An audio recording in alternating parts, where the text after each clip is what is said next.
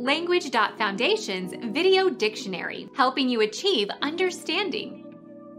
Turn pale, as if in fear. Blanch, pale. Become our student and get access to effective and free educational materials.